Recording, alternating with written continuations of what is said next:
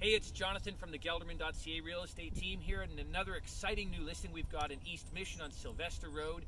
This amazing property is two and a half acres with a 3,000 square foot house with a suite.